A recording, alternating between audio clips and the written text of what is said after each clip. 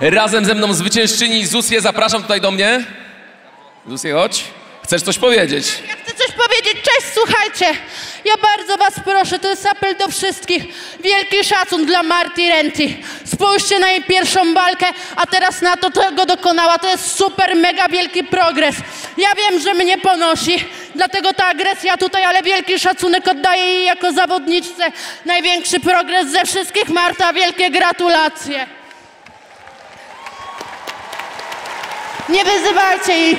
Oto złóżcie jej gratulacje.